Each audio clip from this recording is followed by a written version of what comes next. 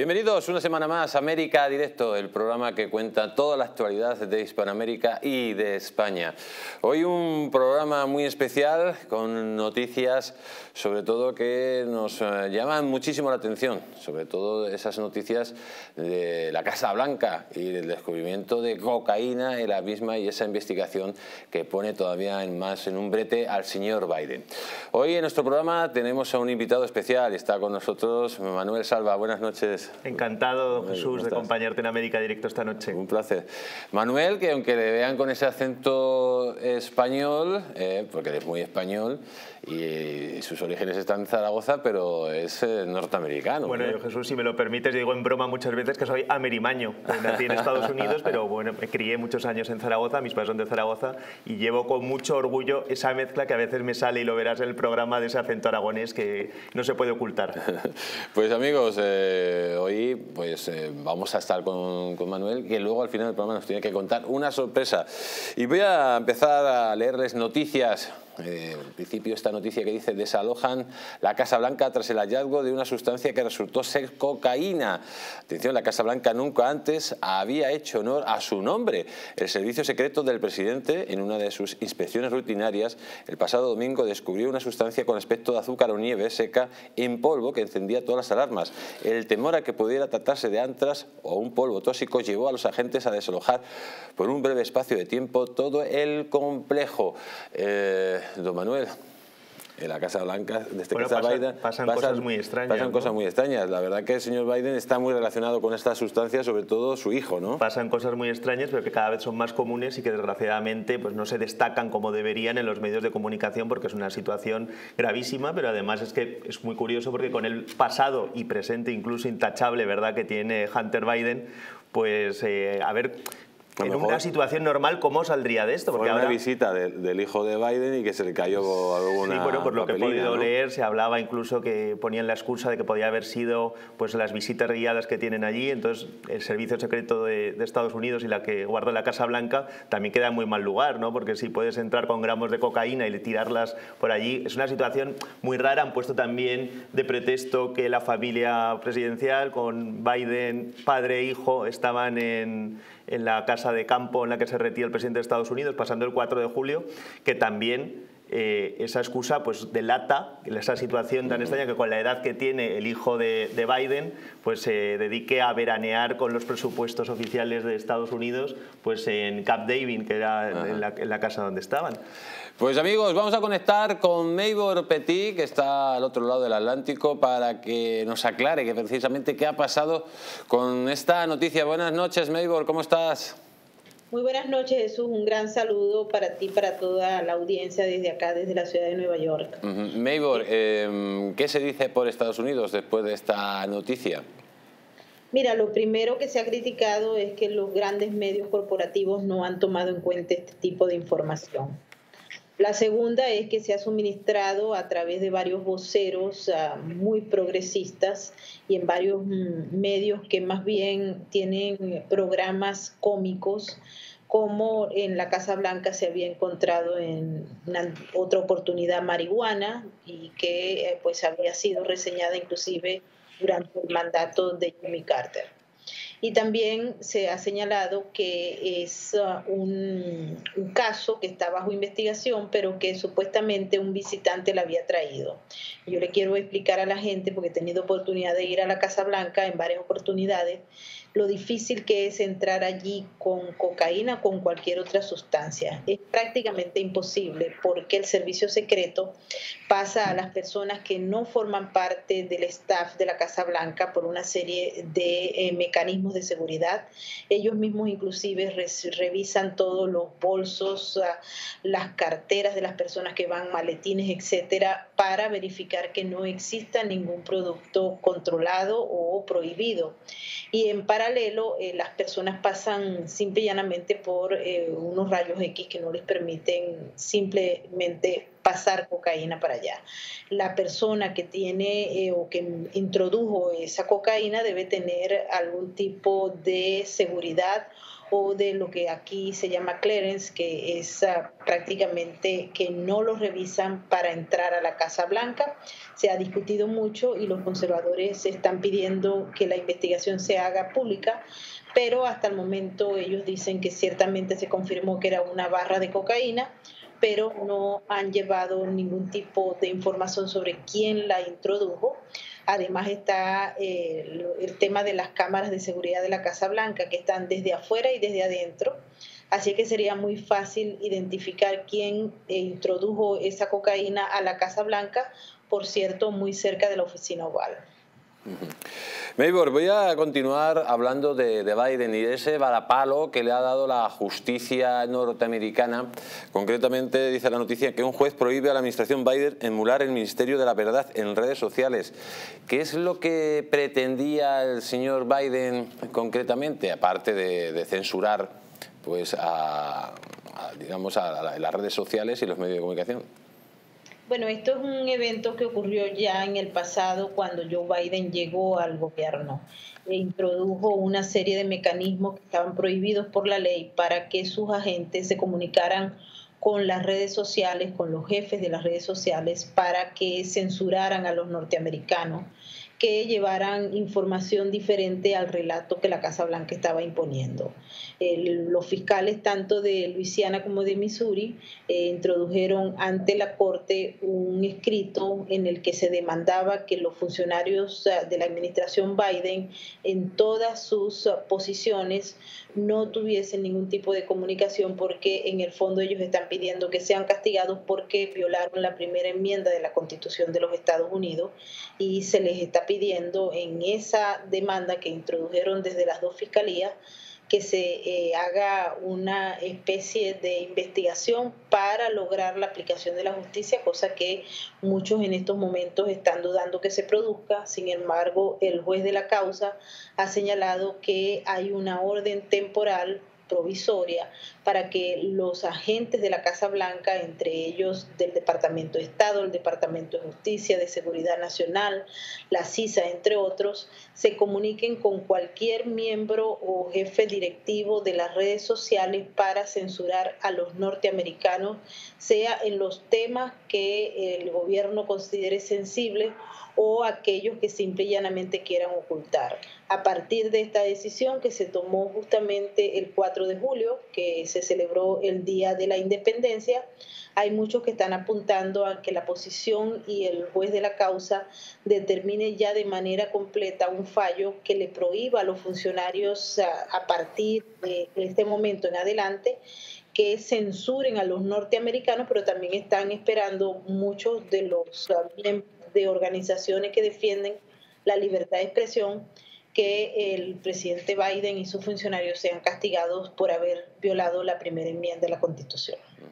Meibor, espéranos un segundito que vamos a buscar aquí la opinión de, don Manuel. ¿Qué opina usted de esto? Bueno, es que realmente el Ministerio de la Verdad eh, está existiendo también en Europa, está existiendo en los Estados Unidos, lo hemos visto desde las anteriores elecciones eh, norteamericanas y realmente la censura que se está viviendo tanto en los medios de redes sociales como en los medios de comunicación es enorme, pero también vamos pronto hacia otro reto, que son en los medios eh, digitales, cada vez hay menos periódicos impresos y dentro de un tiempo nadie podrá demostrar si esos periódicos de hace dos a tres años, esas hemerotecas, han sido manipulados o no. Y eso es un riesgo también muy importante para la historia, porque dentro de 20 años se puede manipular pequeñas eh, líneas de un artículo, de una noticia que ha pasado ahora, por ejemplo, y puede manipularse completamente el pasado. ¿Con la inteligencia artificial? Por supuesto, bueno, la inteligencia artificial y alguno que sea poco inteligente que también lo puede hacer. ¿no? Creo que no hace falta mucha inteligencia artificial para poder ir a editar un artículo de cualquier medio de prensa teniendo ese acceso y poder cambiar completamente la historia. Pues vamos a continuar, Maybor, y quiero que me comente la siguiente noticia. Dice que China se la devuelve a Estados Unidos y prohíbe exportar tierras raras para fabricar chip de última generación. Eh, ¿Qué ha pasado con China? ¿Por qué se la está devolviendo y por qué le, digamos, le prohíbe exportar tierras raras para fabricar chip? porque los Estados Unidos no tienen tierras raras y es necesario para mantener la industria y también para que los aliados que todavía permanecen leales a Taiwán paren cualquier tipo de negociación con el gobierno de la isla. Aquí el avance de la discusión que hay sobre China como enemigo número uno de los Estados Unidos ha llegado a tal nivel que hoy se ha anunciado que el gobierno de los Estados Unidos debería eh, informarle a todos los norteamericanos que tengan mucho cuidado en viajar a China. Cuando esto se hace, bueno, lo recordamos que ha ocurrido en el caso de Nicaragua, en el caso de Venezuela, que son gobiernos absolutamente hostiles, así como también el de Corea del Norte o Rusia, en los que los ciudadanos norteamericanos pueden ser objeto de secuestro para luego producir o propiciar negociaciones y entrega de rehenes. Ya son las voces conservadoras las que lo están planteando, pero también muchos miembros de la administración de Joe Biden Biden, que han visto cómo China se ha salido con la suya. También tuvimos la oportunidad de escuchar hace ya varios días atrás las declaraciones del secretario de Estado, Anthony Blinken, que prácticamente eh, convenció a China de que no estaba ocurriendo nada malo y que eh, Estados Unidos todavía reconoce la presencia y la, el manejo de China en Taiwán, cosa que por supuesto cayó muy mal ante el gobierno taiwanés eh, que pensaba que contaba con el apoyo de los Estados Unidos estrictamente, esto a pesar de que históricamente los Estados Unidos han reconocido que hay una sola China. Hay también negaciones a Jesús en relación a los negocios que pueden hacer los chinos en los Estados Unidos y se está revisando todos los convenios de cooperación que hasta el momento se han firmado con el gigante asiático. Pues Maybor, muchísimas gracias por haber estado aquí en América Directo y como siempre, eh, un fuerte abrazo y te vemos muy pronto. Así es, nos vemos muy pronto. Un saludo a toda la audiencia. Además, te vamos a ver muy pronto aquí en vivo, en América Directo, en el plató. Un fuerte beso, cuídate mucho. Y vamos a continuar amigos con la siguiente noticia. Dice, Marina desmanteló 15 plataformas de abastecimiento en alta mar usadas por el narco. Dice, la Secretaría de Marina eh, informó que los últimos cinco días se han asegurado más de 6.000 kilogramos de cocaína debido a varias acciones que han implementado la dependencia de seguridad marítima, como el desmantelamiento de al menos 15 plataformas de abastecimiento que usaban los narcotraficantes en el Océano Pacífico. De acuerdo con la información presentada por la Marina, luego de dar a conocer la captura de una embarcación que transportaba 2,4 toneladas de cocaína en costa de Acapulco, se lograron desmantelar 15 plataformas ubicadas en la costa de Colima, Michoacán, Guerrero, Osaka y Chiapas. La imagen presentada por Marina destalla, eh, que una de las plataformas fue localizada eh, a dos 212 millas náuticas del puerto de Manzanillo, Colima. En el caso del puerto de Lázaro de Cárdenas, Michoacán, se encontraban tres de estas plataformas, mismas que estaban a 27, 130 y 205 millas náuticas respectivamente.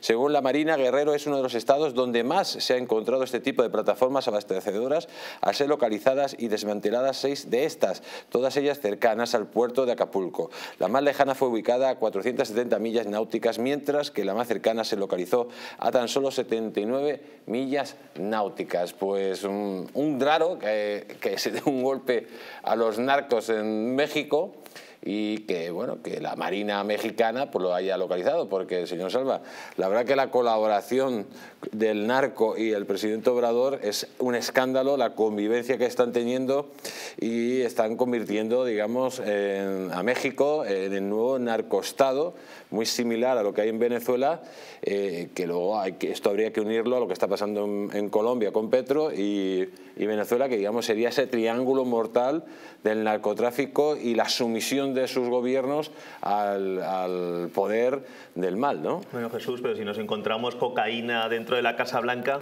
¿qué más podemos esperar de los países tanto productores que son Venezuela y Colombia, que ya está pues Colombia pues en las redes del eje del mal y que además eh, cada día pues, nos están saliendo más acontecimientos de las relaciones del gobierno venezolano con el colombiano, el embajador que tiene Colombia en Venezuela, que es la mano derecha de, de Petro, tiene unos pasados además que conocemos profundamente con el narcoterrorismo venezolano y obviamente pues el canal de comunicación para Estados Unidos para Hunter, pues será México, ¿no?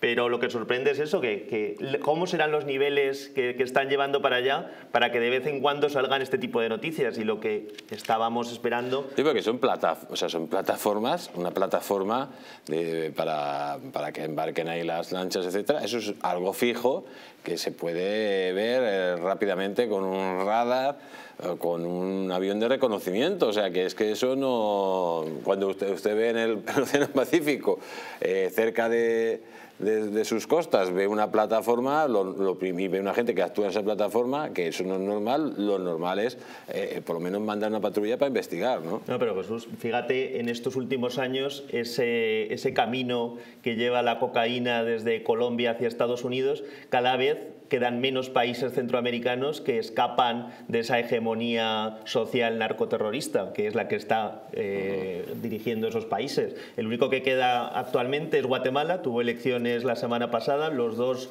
líderes que han pasado la segunda vuelta son de corte socialista y la verdad que la esperanza que queda para los que están pues, en contra de toda esta exportación de cocaína pues es muy complicada porque en México están utilizando pues, el, cortijo que, que todos estamos viendo a través de AMLO, que todavía le quedan, si no me falla la memoria, un par de años o año y medio. Y, lo que estamos viendo pues es muy grave, pero es que no pasa absolutamente nada. Si no va a pasar nada habiendo encontrado cocaína dentro de la Casa Blanca y apenas seremos uno de los pocos medios que lo está denunciando, ¿qué va a pasar con lo otro? Pues absolutamente nada, porque tú sabes que México es uno de los países más corruptos de, de nuestra América. Y México, eh, desde que está el señor Obrador, más de 150.000 asesinatos en su mandato. O sea, han muerto más civiles que en la guerra de Ucrania, que en Afganistán, que cualquier lugar del mundo, gracias a este, este personaje, siniestro no los haya, que dice que hay que pedirle perdón, perdón porque bajo tu mandato haya muerto 150.000 personas asesinadas, que seguramente no serían ni un 10% de todas las que murieron asesinadas durante la presencia española. Sí, pero este caso de, asesinatos pues está parando en todos los países en los que han empezado a gobernar en los últimos años. Fíjate, Petro todavía no va a hacer un año de la toma de posesión, que fue en agosto del año pasado, y no hay día en lo que se pueda ver en redes sociales vídeos de policías asesinados, de civiles muertos en carretera, que eso no estaba pasando en los últimos años en Colombia, desde que se instauró después de, del gobierno de Uribe, que se, se, normalizó la situación, y eso está pasando en todos los países en los que están gobernando. Por eso digo que lo triste, por ejemplo, ahora mismo en El Salvador y Guatemala son los países que menos homicidios están teniendo, y, a pesar de eso, pues obviamente el prestigio un poco infundado que está teniendo Bukele en El Salvador, pero Yamatei en, en, Guatemala se va a ir a la calle desgraciadamente en unas semanas. Pues vamos a continuar amigos y vamos a continuar pues con otro de la lista. Eh, pasamos de México, nos vamos a Venezuela y lógicamente ahí tenemos a un sátrapa carnicero y sanguinario llamado Maduro. dice la noticia, eurodiputados exigen que Maduro sea arrestado si asiste a la cumbre de la Unión Europea CELAP en Bruselas. El Grupo Popular Europeo pide que se retire la invitación al dictador tras la decisión del régimen chavista de inhabilitar al líder eh, opositor María Corina Machado para participar en las presidenciales. En caso de que llegara a viajar, solicitaron que sea puesto a disposición del Tribunal Penal Internacional. El Grupo Popular Europeo pedirá que se retire el dictador de Venezuela pues, eh, esa invitación. El vicepresidente del Partido Popular Europeo, el español Esteban González Pot, informó el pasado sábado de que tal propuesta se presentará el próximo pleno del Parlamento Europeo y afirmó que Maduro debe ser inmediatamente detenido si se presenta en Bruselas y puesto a disposición del Tribunal Penal Internacional. González Pons participó en un coloquio junto al vicepresidente de la Comisión Europea, eh, Margaritis Chinat, eh, de la ciudad española de eh, Valencia. Los mandatarios de la Unión Europea y la CELAT, Comunidad de Estados Latinoamericanos y del Caribe, se darán cita el próximo 17 y 18 de julio en Bruselas, en una de las reuniones más importantes de la presidencia semestral española del Consejo Europeo que comenzó el pasado sábado. El Gobierno de España, de la misma manera que muestra una vez más su respaldo a Ucrania, debe apoyar a la posición democrática venezolana, pidió el político conservador español. Pues evidentemente, amigos, claro que a Maduro habría que detenerle o no dejarle pasar, porque tiene una prohibición. Hay que recordar que Maduro es un tipo que está investigado y acusado en, Estados Unidos precisamente por ser uno de los líderes del narcotráfico en Venezuela. y cómo la Unión Europea van a dejar pasar, no porque no deje presentarse a, María Corina Machado a las presidenciales, eso es una tontería. Primero, porque es un sanguinario genocida que ha destrozado un pueblo como Venezuela.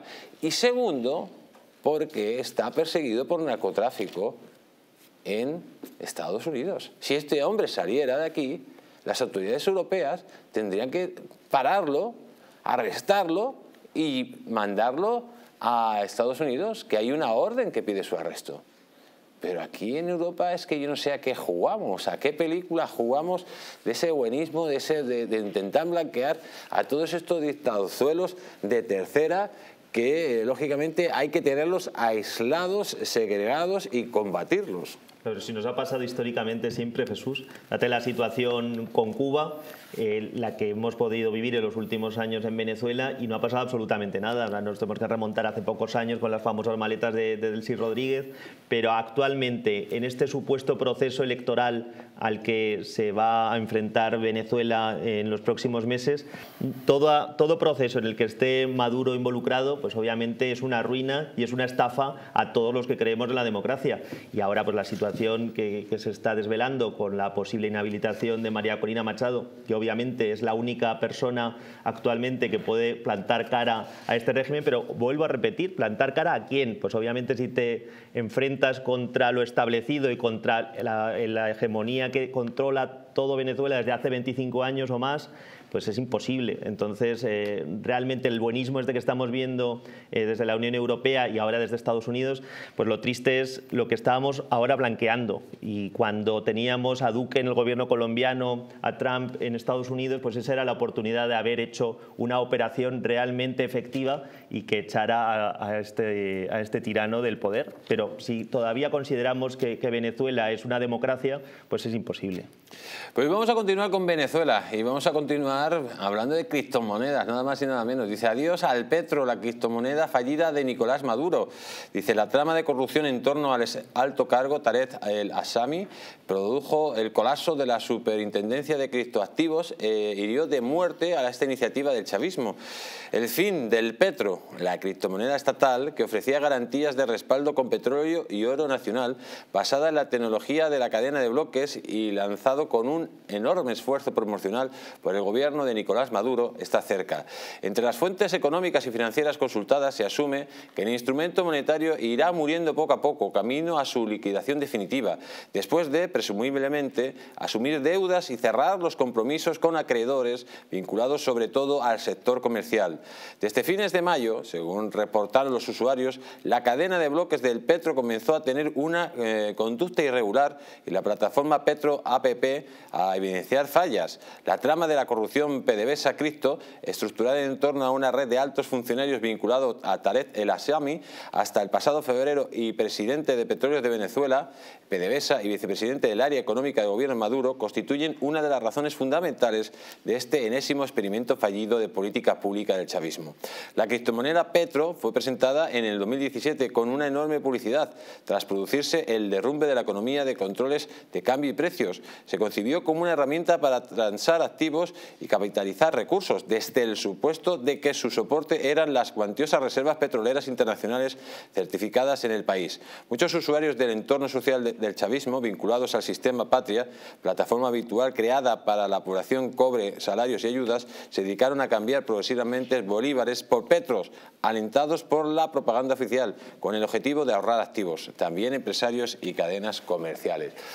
Pues... Eh, pues a mí no sé, me poniendo, que fuera el Petro, que hubiera acabado el Petro que estábamos viendo. Ese sería claro, que tenía que haber sido eliminado. los compañeros, bueno, luego, luego lo cambiaremos porque han puesto unas colas, amigos. No tiene nada que ver lo que han puesto en redacción eh, con, con, esto, porque esto estamos hablando de la petromoneda de Venezuela y no de Petro de Venezuela.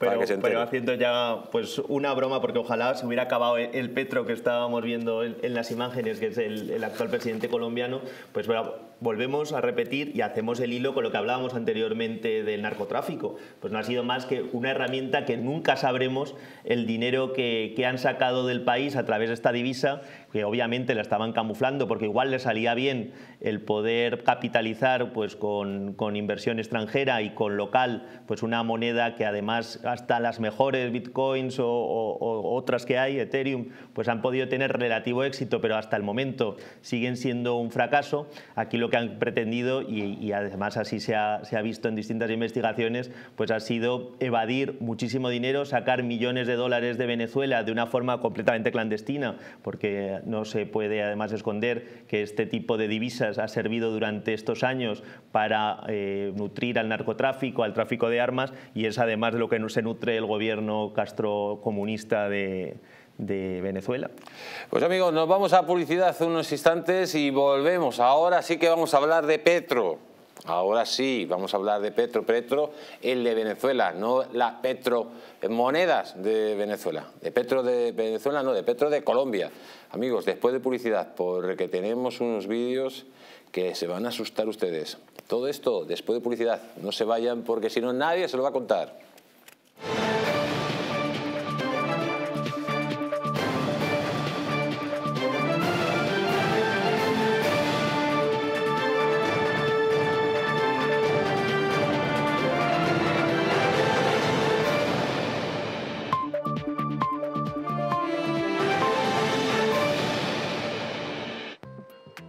Proteger tu sistema inmunitario de la gripe, COVID y otras enfermedades?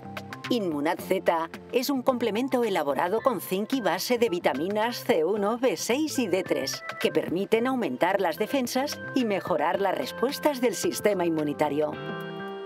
Además, posee antioxidantes que reducen el envejecimiento y mejoran el estado de ánimo. Con Inmunad Z, las defensas al poder. Acércate a tu tienda más cercana o visita la web naturhaus.es.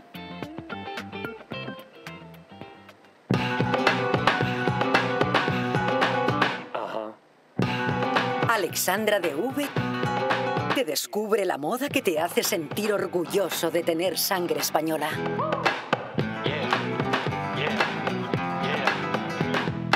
Estilo, moda y arte con orgullo de patria. Visita la web alexandradev.com. Una noche larga de fiesta con los amigos. Has terminado cansado y con una copa de más. Ahora en exclusiva en Naturhaus, Staff Detox. El remedio que acaba con esas resacas eternas del día siguiente. Acércate a tu tienda más cercana o visita naturhaus.es.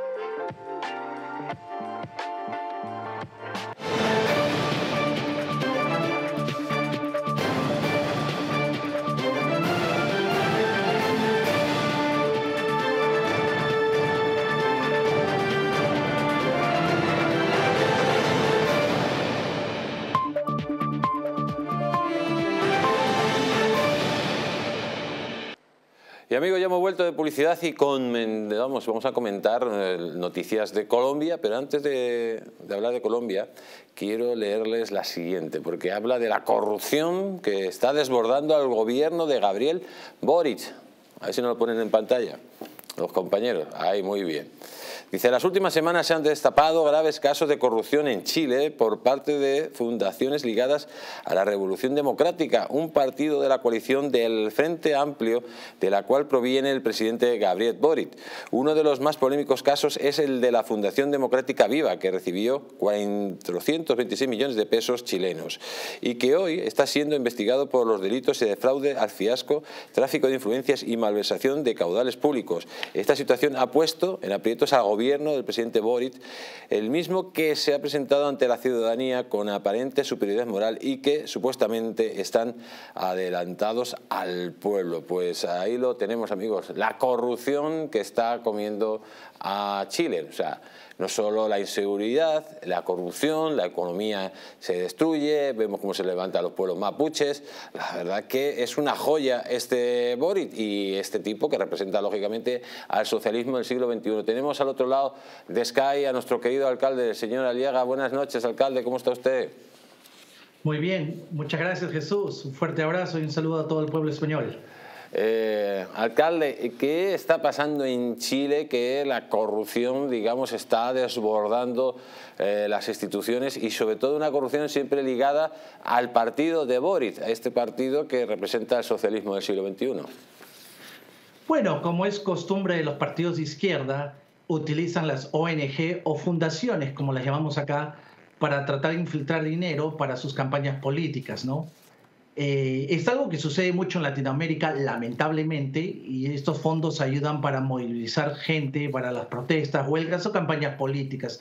En este caso, han creado muchas ONGs o fundaciones, en este caso Urbanismo Social y Fundación Democracia Viva. Urbanismo Social fue creado supuestamente para construir casas porque hay un déficit de casas en, en Chile. Entonces crearon esta fundación, se dice, para construir casas y darle casa a la gente que más la necesitan.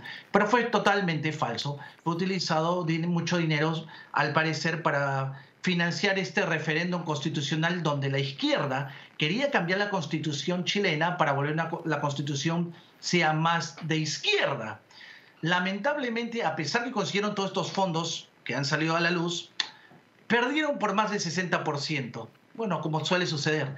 Entonces, ahora que ha salido el destape esto, están entre ellos que se acusan, están tratando de tratar de empujar al, más débil ahí para buscar otros porque están tratando de zafarse la culpabilidad, porque eso es un delito eh, penal, ya que mucho este dinero es el dinero del Estado. Tú no puedes agarrar dinero del Estado para una campaña política, obviamente, ¿no? Y parece que ellos desconocen mucho esto, al parecer.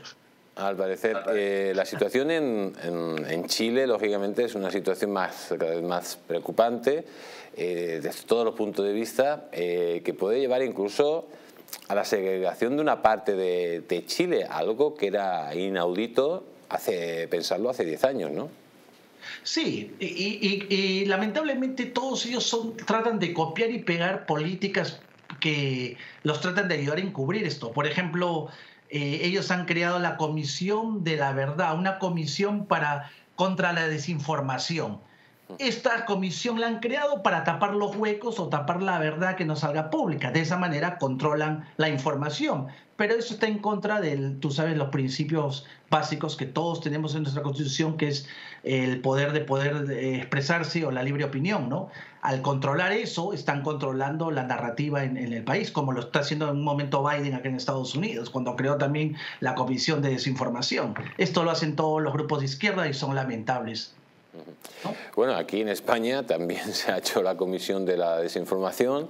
Hay grupúsculos e informativos que dependen del Soros que se han puesto la medalla y el título de decir que son los verificadores de la verdad ellos que no dicen una verdad, aunque se equivoquen, y es, gracioso que cuando eh, le criticas al gobierno, viene, por ejemplo, el presidente del gobierno, Pedro Sánchez, que, no es que haga la competencia a Pinocho, sino que yo creo que le ha superado en mentiras y dice que las críticas o las informaciones que dicen los medios alternativos son bulos, ¿no? Pero bueno, eh, esto ya es muy típico dentro del, este socialismo del siglo XXI que para controlar eh, la verdad, bueno, para controlar los sucesos, lógicamente pretende tener pues, una censura total y un control de los medios.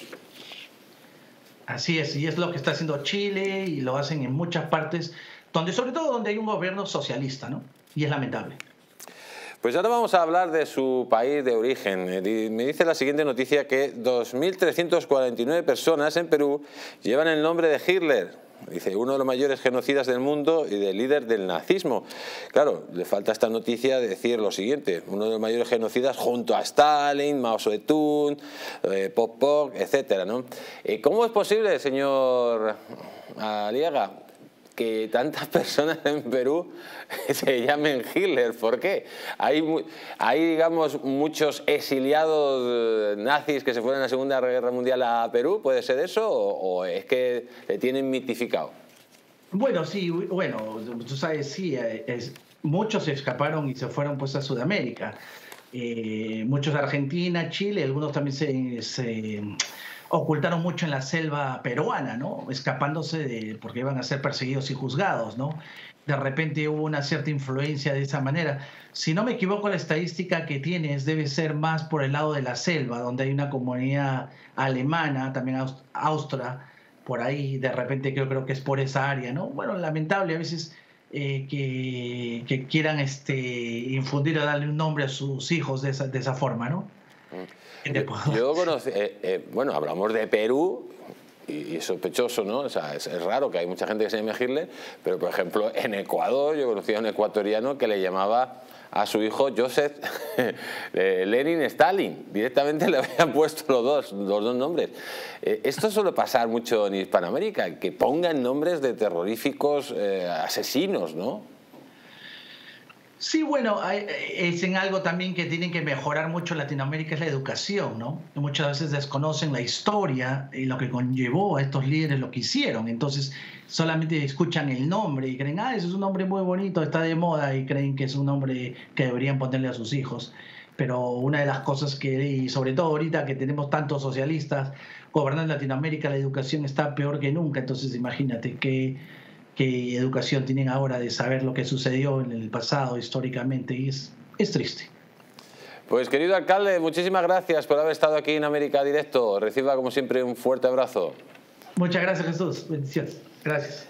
Y amigos, vamos a continuar y vamos a continuar hablando del señor Petro, de lo que todos ustedes están esperando, porque es increíble cómo este hombre que al parecer, según un embajador suyo, recibió dinero de la narcodictadura de Venezuela para comprar votos, fíjense cómo habla a los campesinos colombianos. ¿Cómo es capaz de, manipular, de hacer demagogia barata y, y engañar a los pobres e ignorantes campesinos que le escuchan más o menos diciendo que, claro, los que van a la cárcel son los campesinos por la venta de la hoja de coca, mientras que los grandes, los grandes, atención, narcotraficantes eh, colombianos, pues esos se libran. Claro, los grandes narcotraficantes colombianos, señor Petro, que a lo mejor tienen mucho que ver con usted, ¿no? Vamos a escucharlo.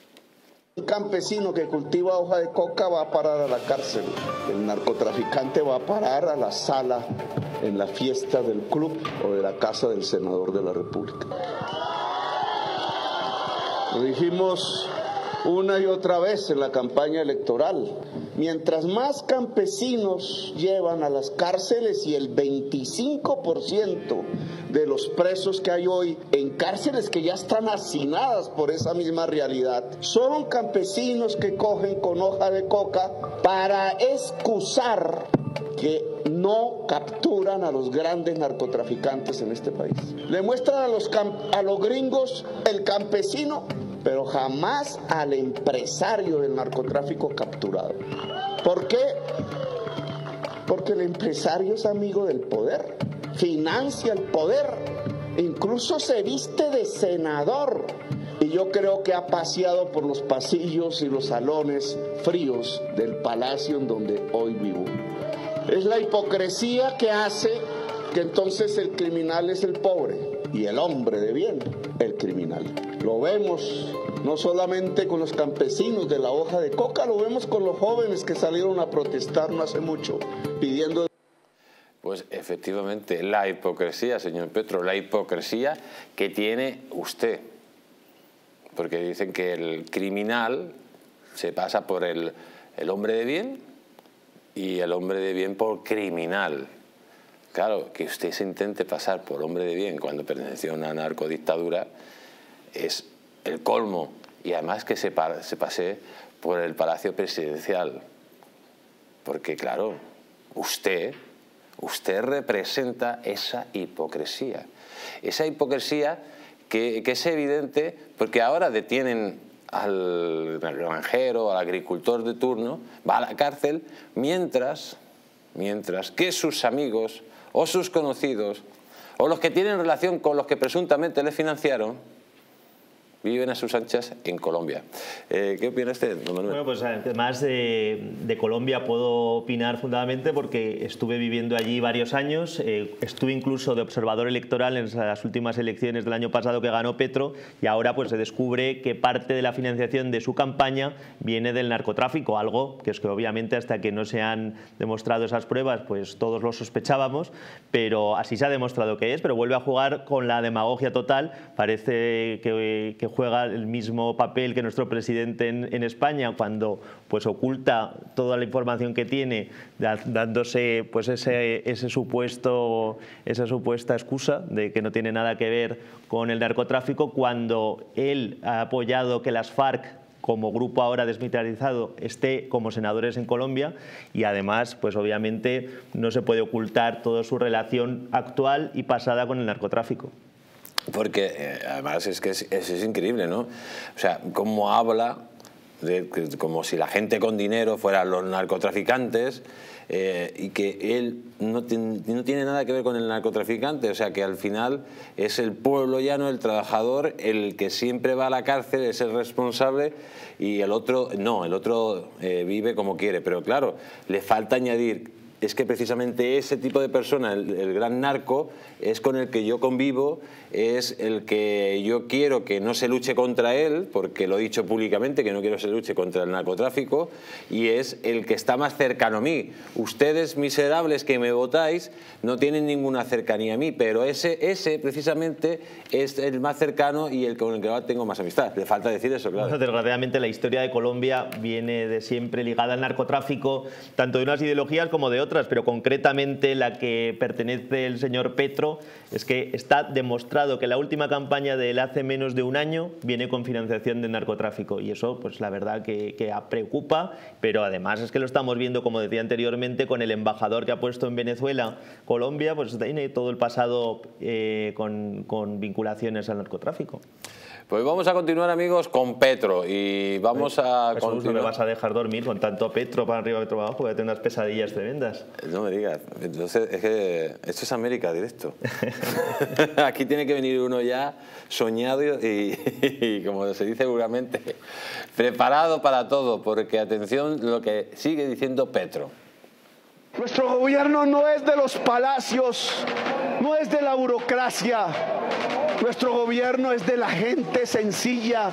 La gente sencilla debe gobernar en Colombia y el gobierno debe servirle a la gente sencilla de Colombia. No me inviten a grandes bacanales, no voy. No me inviten a los cócteles sociales de los banqueros, yo no voy. Invítenme a tomarme una cerveza ya en una esquina sentados en una acera. Invítenme a un baile popular, a un biche del Pacífico. Invítenme a bailar porros en las veredas de mi pueblo campesino de Córdoba. Pero no me inviten a las bacanales del poder porque yo no soy de eso. Hacía muchísima falta al pueblo en las calles creían que el pueblo estaba dormido, que con ganar el día ese de las elecciones ya se nos había pasado la fiebre, pensaban. Pues no, ahora es que van a sentir... Pero este hombre tiene la, mente podrida, que habla que no le inviten a esas bacanales, amigos. O sea, aquí está claro, una bacanal son orgías directamente. Dice, no me inviten, yo quiero estar con ustedes tomando una cerveza. Y si han visto, por ejemplo, el personaje que tenían detrás, la cara que tenía el pobre, que, cuando juntaba dos neuronas, pues, eh, bueno, pasaba, se pasaba pasaba de todo y la señora que metía la cabecita. ¿no? Es, es, un insulto a la inteligencia, cómo habla, no me inviten a grandes palacios. Entonces, ¿por qué viene usted al Palacio Real? Junto a su majestad el rey. ¿Cómo fue? ¿Por qué fue al Congreso de Diputados? ¿O por qué fue a...? ¿Qué película nos está contando este señor? vive en el Palacio de Nariño. Vive en el Palacio de Nariño. He, podido tener la oportunidad de estar dentro y es una auténtica maravilla. ¿Y cuántos empleados y cuántos sirvientes tiene? Por supuesto, y, utiliza el helicóptero presidencial todos los días. Y luego dice, no me inviten, no me inviten a Bacanales, pero sale la mitad a la vez es borracho dando mítines. Y además tiene mucha fama de eso y de hacer esas fiestas también dentro de, precisamente de su palacio, pero es el mismo discurso populista ¿Y que, vemos... Cuéntenos esas fiestas que hacen en el palacio. Bueno, desgraciadamente te podría contar más,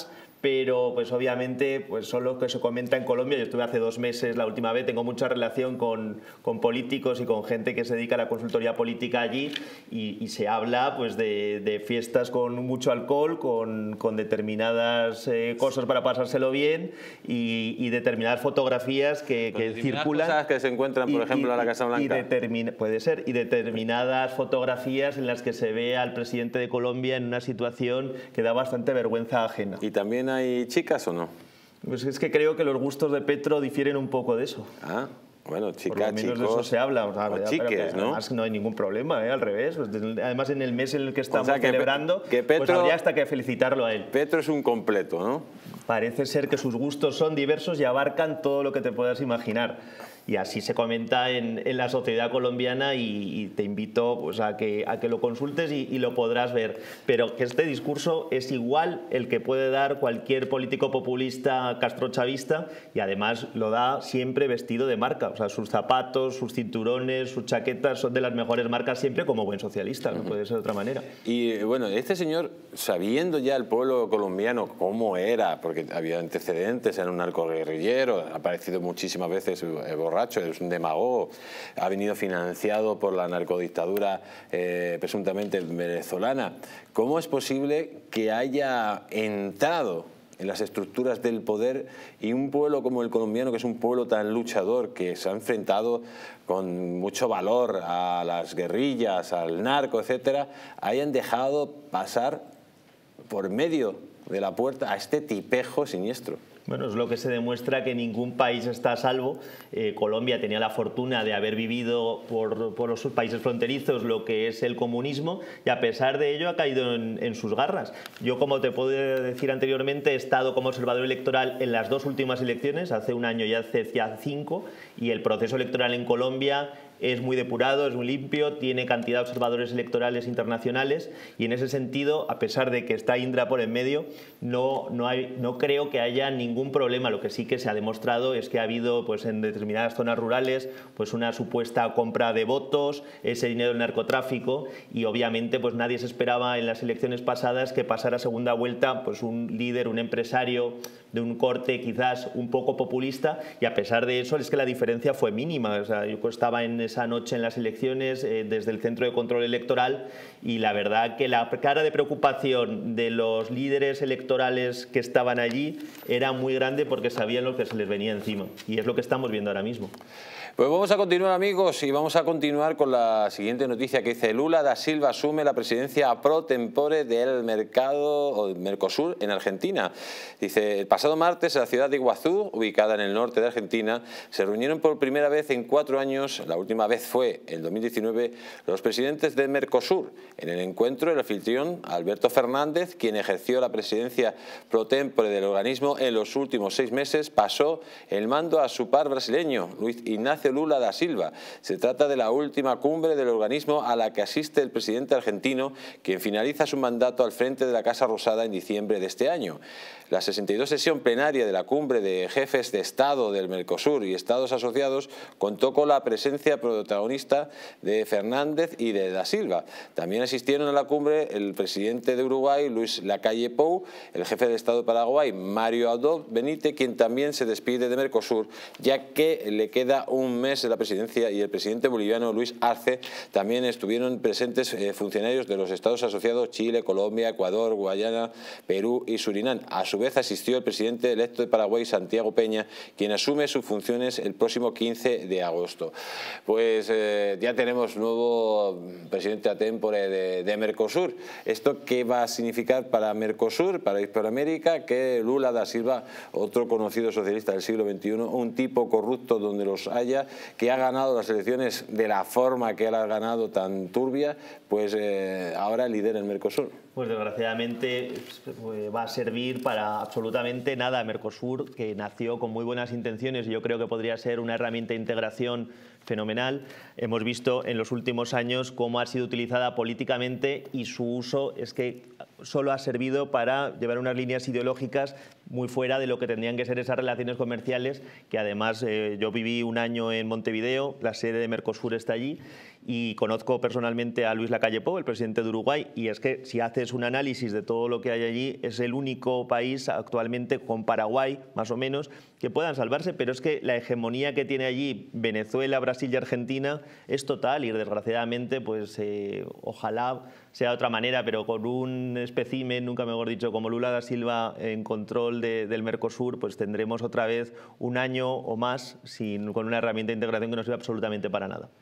Y eh, amigos, la verdad que se nos está acabando el tiempo, pero yo quiero que el señor Salva pues, me explique ese evento tan importante que se va a celebrar próximamente en Hispanoamérica. Sí, este viernes estoy viajando a Paraguay. El lunes, martes y miércoles se celebra en Asunción, Paraguay, un foro de la Fundación Ideas, que es una fundación en la que además está integrado el presidente José María Aznar, y se reúnen en Paraguay 20 expresidentes latinoamericanos con el fin de, de mostrar a la sociedad y de debatir sobre la situación actual en Iberoamérica, que como comentábamos es muy grave. Actualmente solo queda Paraguay, Uruguay y Guatemala, en los que no gobierna la izquierda radical. Guatemala ya, desgraciadamente, en esta segunda vuelta va a irse hacia la izquierda, o sea que apenas tenemos dos países en todo el continente americano, con El Salvador, que se sabe que está en tierra de nadie, no, no me atrevería a decir qué ideología tiene Bukele, yo creo que nadie la puede saber y va a ser un foro muy interesante que con tu permiso pues te ofrezco conectar también desde Asunción para contarte todo lo que está surgiendo allí, porque va a ser la primera vez que se reúne un número tan grande de expresidentes iberoamericanos